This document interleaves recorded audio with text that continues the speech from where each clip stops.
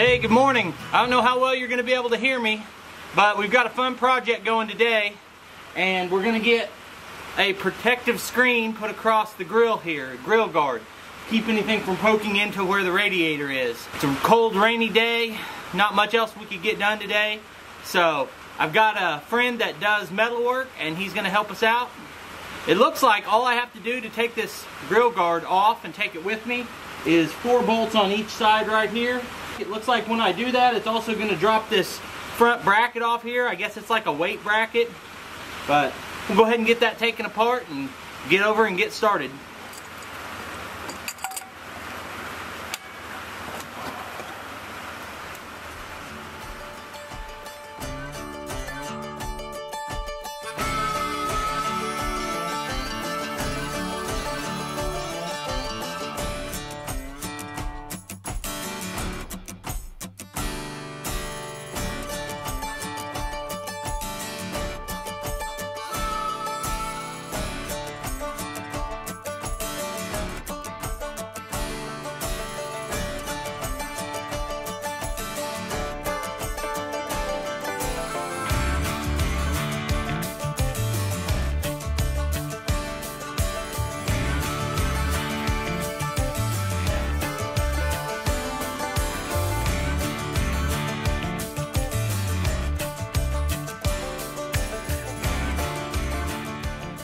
Alright, so I broke the back set of bolts loose with the impact, but I can't get the impact on the front set.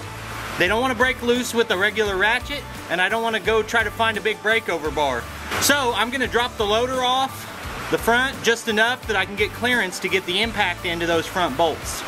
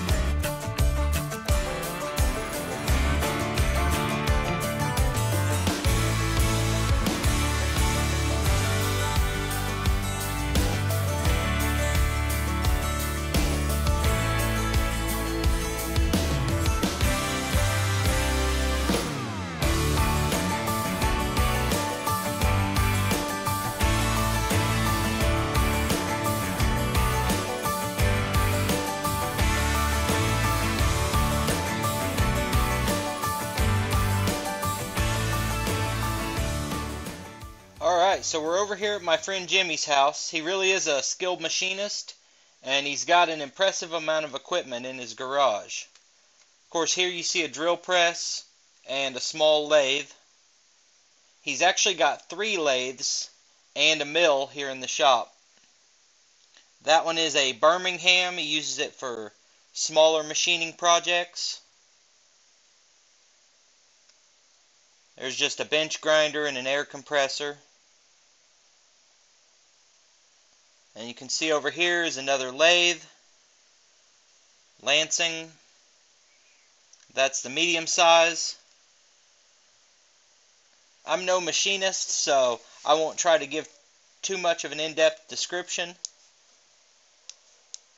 Then here is a mill. It's a Bridgeport.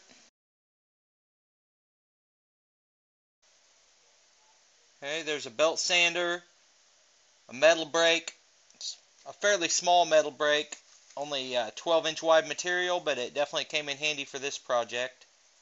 Just to demonstrate the type of metal work he does in this shop, this is the base plate for the metal brake, and it broke in half, and he completely fabricated a replacement. And here you have the largest of the lathes. This one, he said, was actually originally from a World War II ship thing's close to 100 years old.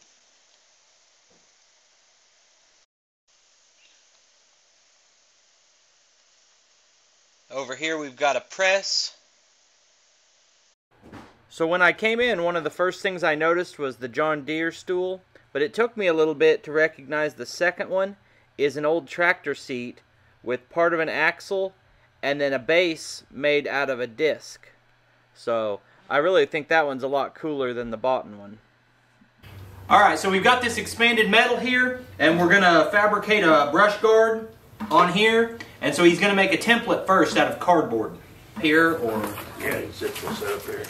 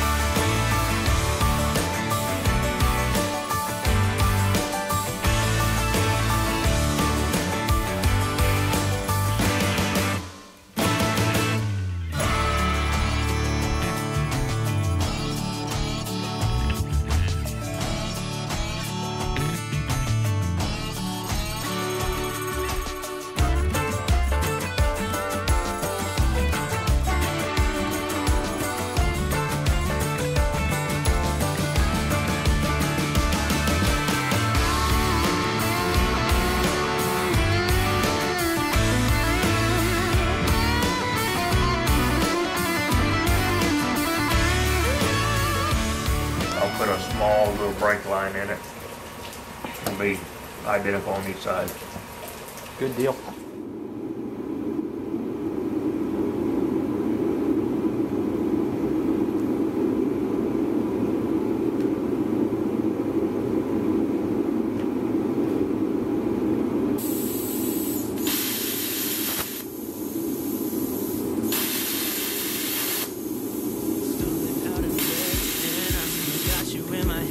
from all those pretty words you said. It's like I'm wasted.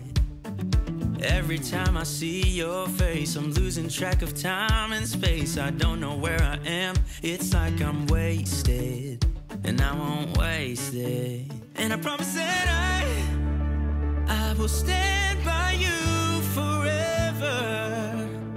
I can't get you out of my mind. I will follow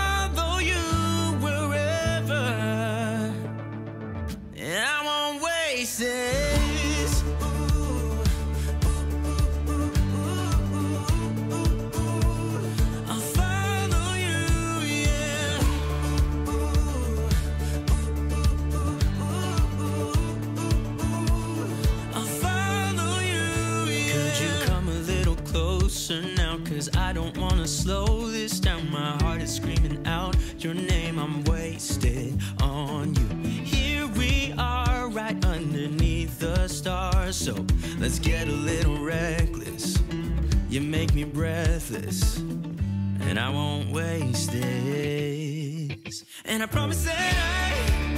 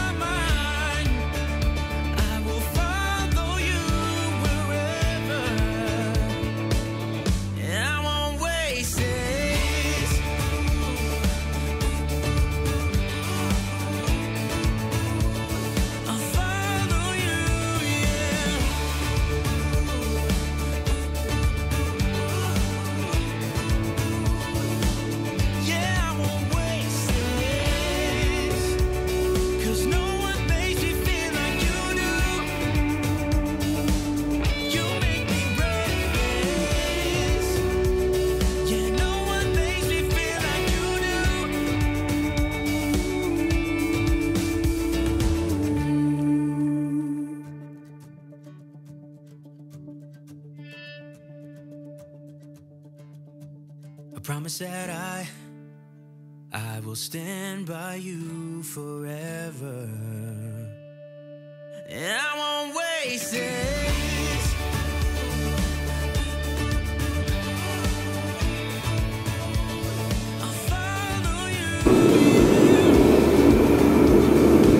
That's about ready to paint then.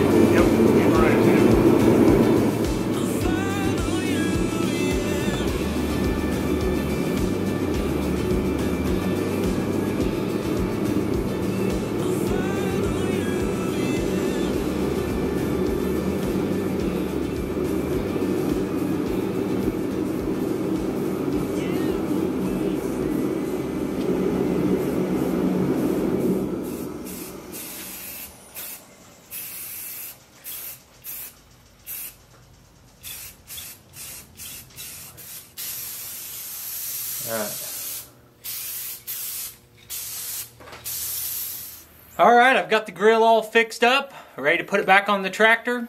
Hopefully, the rain that's still going isn't too much of a distraction. We've actually got tornado warnings just south of us, but it looks like it's going to miss us right here. So I'm to go ahead and get this put on and see how it looks.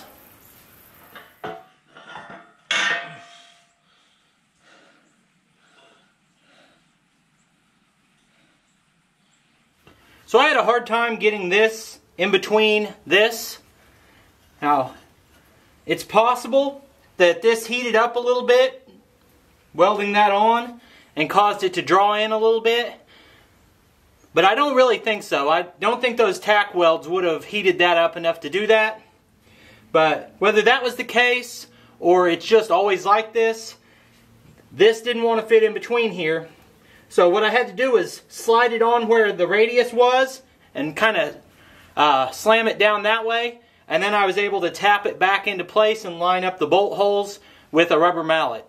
So it was kind of annoying to put together, but it wasn't something that I really had to force that hard. So, anyway, let's go ahead and get it put on the tractor.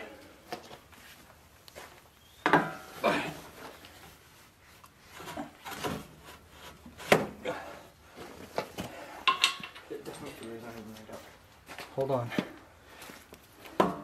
Give me a bolt. These first two layers are. Okay, I got one bolt through.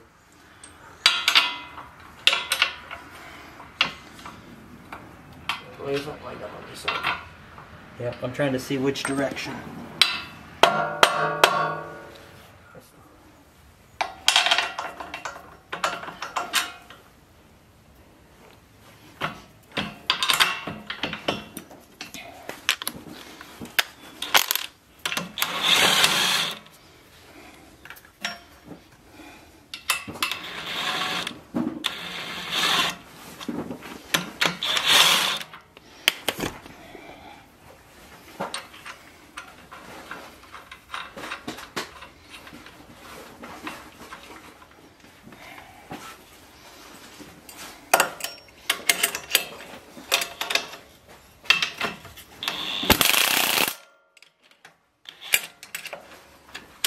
I'll show it to you when I come in.